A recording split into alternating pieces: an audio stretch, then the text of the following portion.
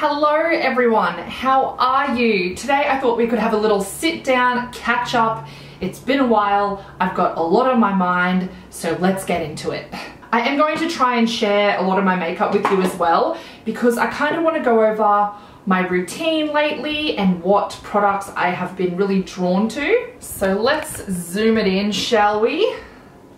Nice. Of course, I'm going in with my L'Oreal Infallible. Is there a day that goes by where I don't use it? Not really. My skin's actually looking quite nice at the moment. Okay, so my brows, I've been really trying something new and I've been going in with soap brows. So I picked up this bar of Pears soap from Chemist Warehouse for a few dollars and then I just brought a little Kmart soap holder to put it in. So it's not that like aesthetically pleasing, but it does the job. So then I just go in with a bit of this BYS Hydrating Spritz and I just wet the soap a little. Now I have a spoolie here and it's absolutely disgusting. I really need to wash my makeup brushes. This is my pile of brushes that need to be washed. so please don't judge the spoolie that I am about to use because it's disgusting. So what I do is I get the soap and I rub my spoolie in there and then I like to brush my brow like backwards to get that soap all up in those hairs. And then I go ahead and brush them up and get them into a fairly nice shape and then I flatten them down. So usually when I'm doing my makeup, I will do my foundation first and brows a little bit later. But I find when I'm using the soap, I need to do them first because the soap kind of gets on my skin and I like to be able to wipe that off. Okay, so now that I've got them brushed into place, I like to just roll the end of the brush over them to flatten. And then I just like to take a makeup wipe or a cotton pad with some micellar water and just tidy up the bottom and the top to get rid of any soap residue. And then I'm just going to leave them until my base and everything so that they can set down and then I'll go in with a few more products a bit later. Now it has been really hot here in Queensland so for foundation I've been going in with either my NYX Can't Stop Won't Stop or my Maybelline Superstay, but I have been mixing in a little bit of this Designer Brands Skin Renew foundation. This has quite a dewy finish and it just makes these foundations look a little bit more hydrating, but I'm still getting that long lasting finish from the other foundations. I feel like going for something a little more lightweight today, so I'm going to go in with this Maybelline Dream Urban Cover. This is in the shade 110 Porcelain. I haven't used this for a while, so I can't remember how the shade matches. All right, so let's address what I feel is the elephant in the room, and that is, why is your upload schedule so shit at the moment? I feel like I've really been slacking and I'm so sorry, but I am busy and I feel like I've addressed this before, but I just want to say it again just in case. But with the house, um, we've started wedding planning again and just life in general, I've been pretty busy. My boss has been really good and for all of February, she's given me an extra day off during the week and then I just extend the other four days of my working hours so that I can really dedicate some time to getting back into wedding planning. And that's been great. I feel really on top of wedding planning, but because my work days are so long, when I come home, I don't want to sit down and edit. I don't want to think. I just want to have some food and zone out for a bit or watch some TV. So I do have a bit of content filmed. I just haven't had time to edit it.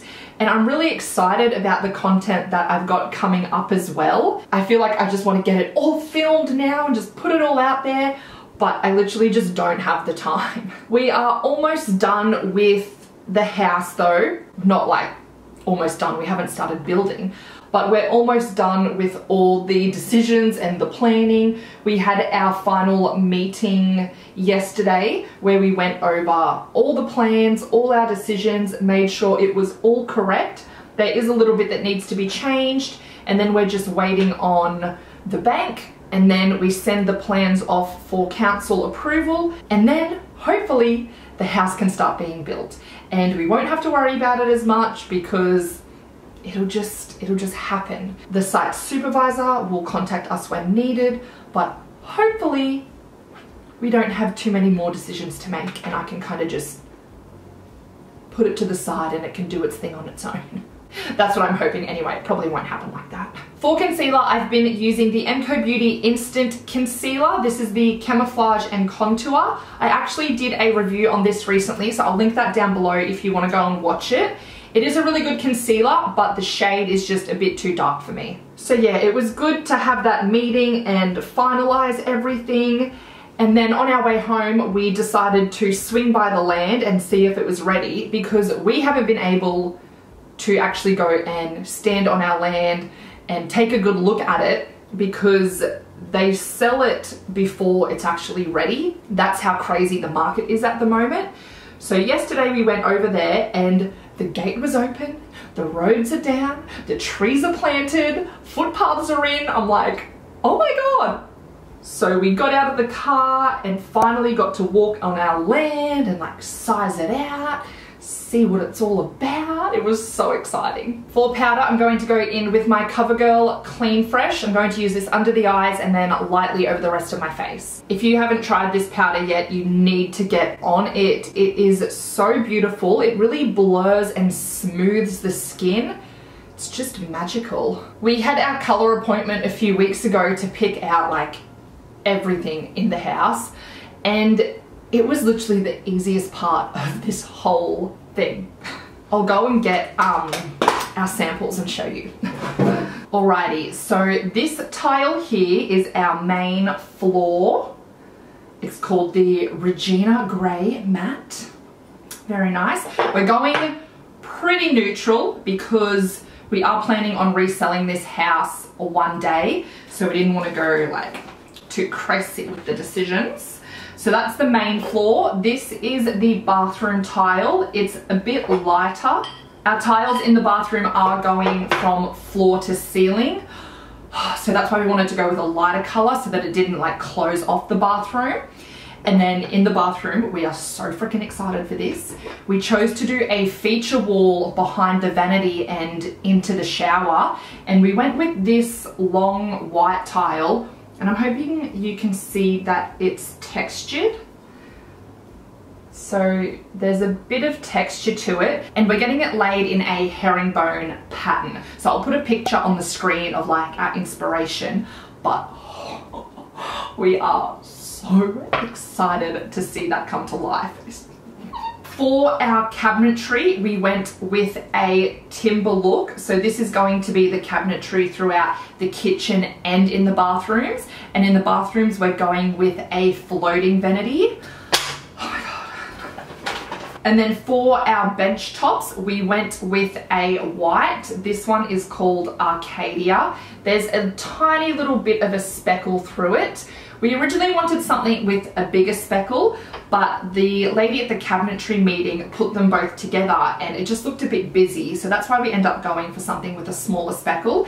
This will be the stone in the kitchen, laundry, and the bathrooms. I just can't believe that we're actually building our own house. Like this is so exciting. Would you guys be interested in seeing more house related content when the time comes? Like do you want to see um, like updates and progress videos or like house styling videos. I know this is like a beauty channel, but I would love to share that if you're interested in seeing it. Otherwise, I'll just put it over on my Instagram stories. For bronzer, I'm going to go in with a cream. This is the Sol bronzer in the shade Light. I'm really hoping that the drugstore starts to bring out some more cream bronzing products.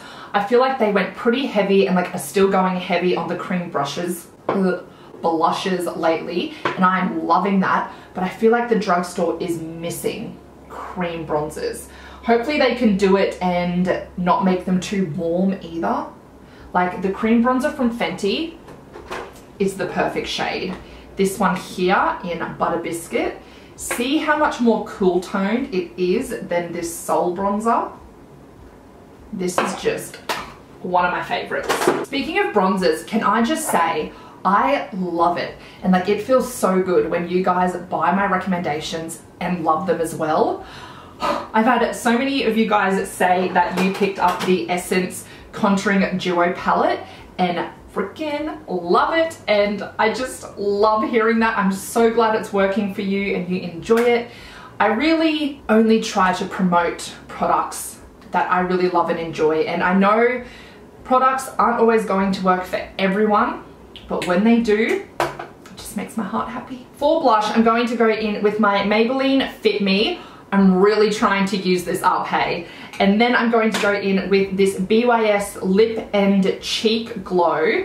This is in the shade Peach and it's just a cream product and I'm going to put a little bit of this over the top. I find that this isn't super pigmented and it doesn't last very long on the skin, but it's very glowy and glossy. So I like to put it over a powder so that I'm still getting the pigment and the longevity from the powder, but I'm getting that nice glossy finish from the blush stick. So how many of you guys watch Jessica Braun here on YouTube? Because I am like major fan don't miss a video. Absolutely love her videos and all her recommendations. Her vlogs are really good as well. Recently, she did a video testing out some of her favorite YouTubers' favorite products from 2020.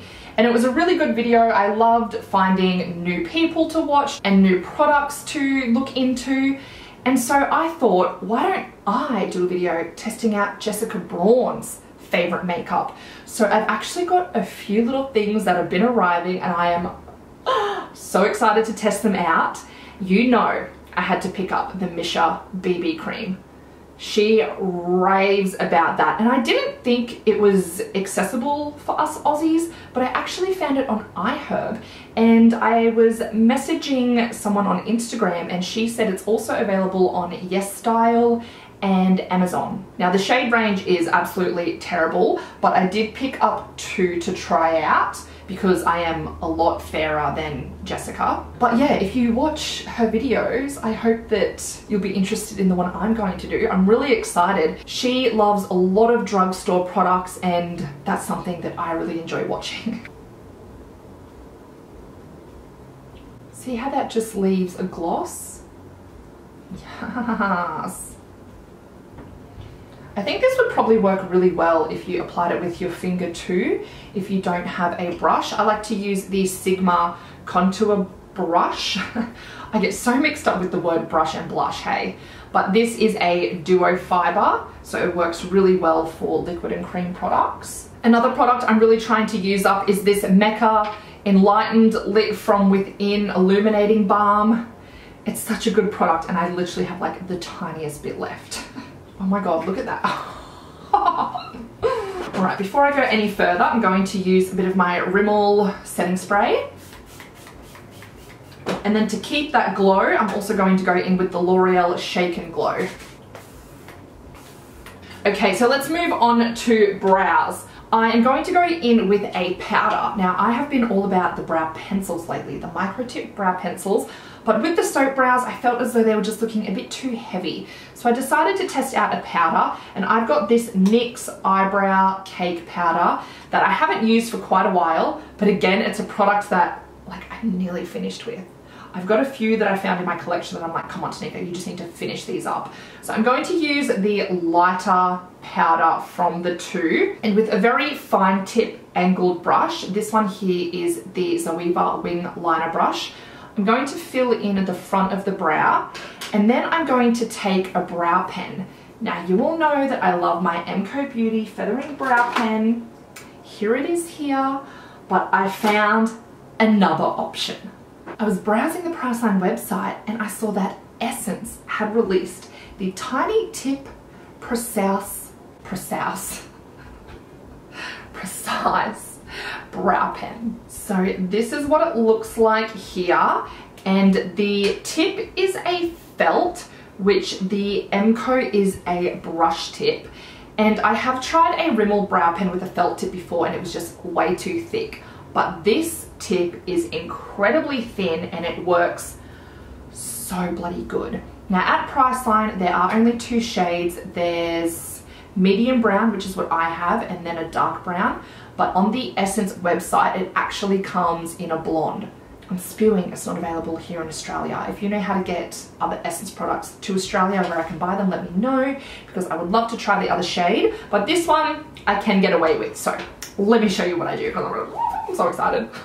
All right, so I like to draw in the front of my brow and this line I like to do on a little bit of an angle as well. And then I like to blend that product up and then if I need to, I get a little bit more powder and just fill that in there. So now that the front's filled in, I go in with my brow pen and start drawing small strokes in the front and then fill in any gaps along the tail. Do you see how thin those lines can be?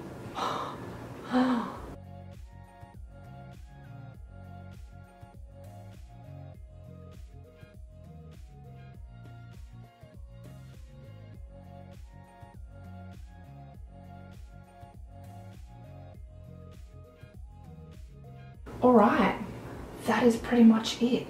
How easy is that? And they look so fluffy. I've never had my brows look bushier than this. Like,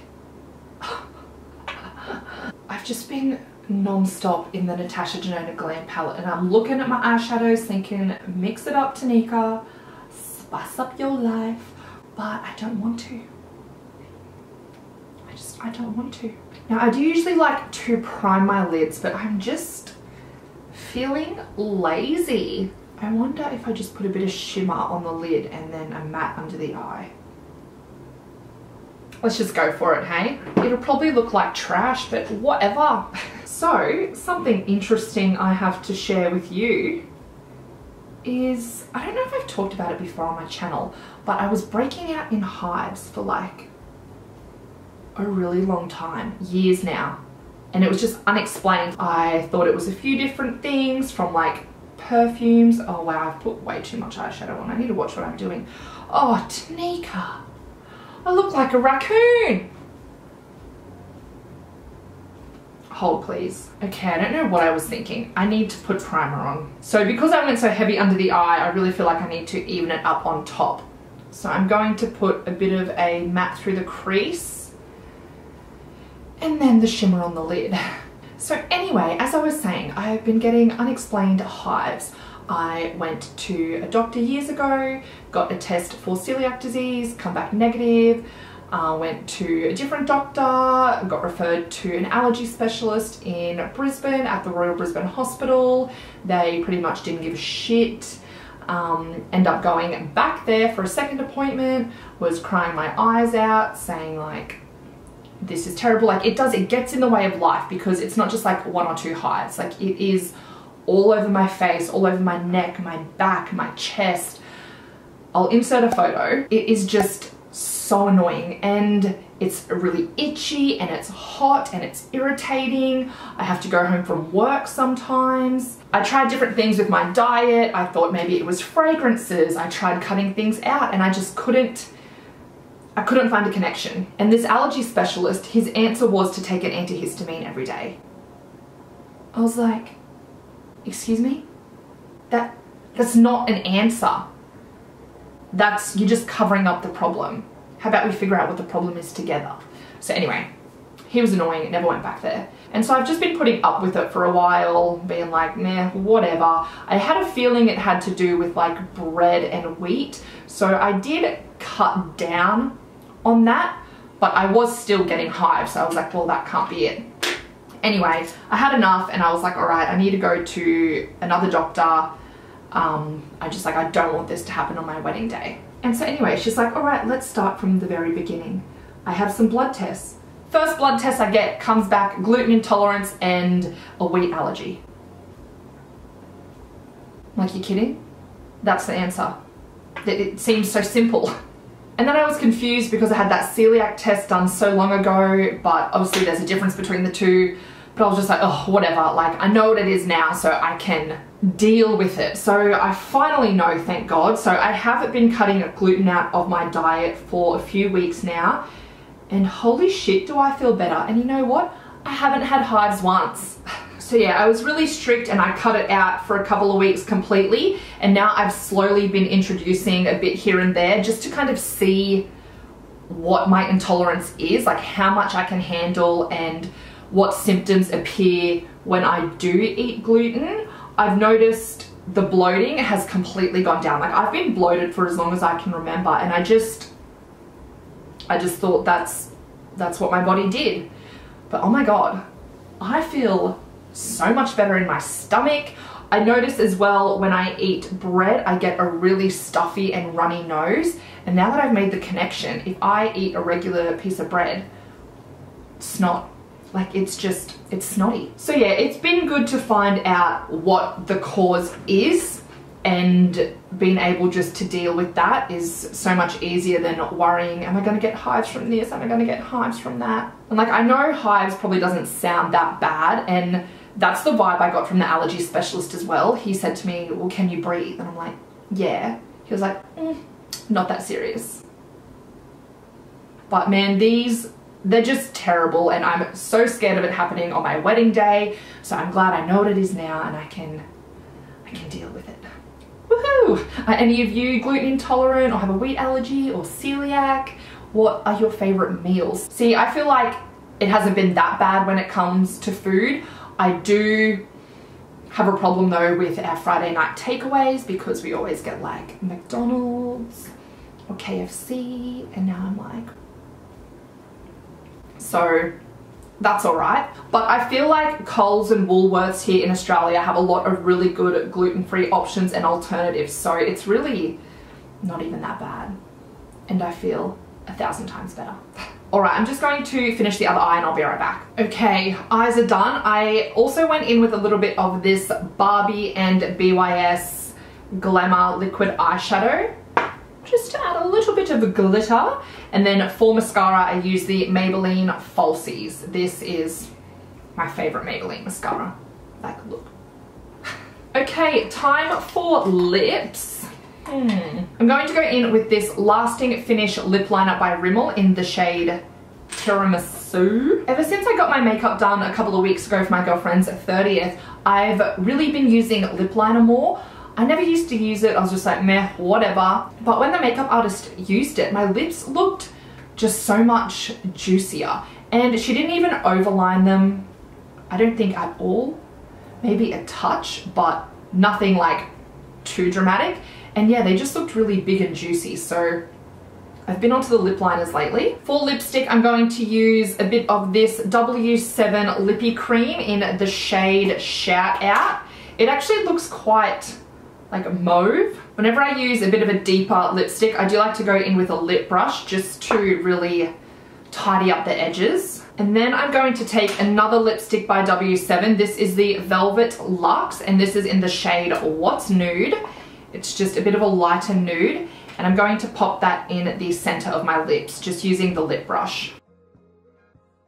Alright, well this is the finished look. I hope you enjoyed watching. I had so much fun catching up. It feels good to let it all out. I did want to touch on the wedding real quick. So we are getting married at the beginning of July. So it's actually coming up like really quickly. I did try my dress on again the other day and it fit a lot better than I thought it would, thank God, because I was really sad after we postponed and I did eat a lot of my emotions. but I'm feeling better, I'm feeling good. I did film a lot of my wedding prep and organization leading up to the postponement. So I do have all that footage to still go over and put together, but I think I'm just going to wait until after the wedding again because there's a lot of stuff in there that like I don't want to spoil kind of thing. So I will continue to keep filming leading up to the wedding now and I will put all those videos together and share that with you after the wedding. I am hoping to also get a little bit of my own footage on the actual wedding day because I think that'll just be really nice to reminisce on and also share with you guys. Oh great, lipstick on my teeth. Oh well, I'm not saying all that again. but yeah, I really appreciate you guys being patient with me and my erratic upload schedule at the moment. If you're new here to my channel, I would love it if you would take a look around and consider subscribing. You can also come and follow me over on Instagram and TikTok for more erratic content. But seriously, I do really appreciate you guys hanging on and I will be back in full force very soon. Lots of exciting content, as I said. But anyway, I hope you're all having a great day. Thank you so much for watching and I'll see you all in the next one. Bye.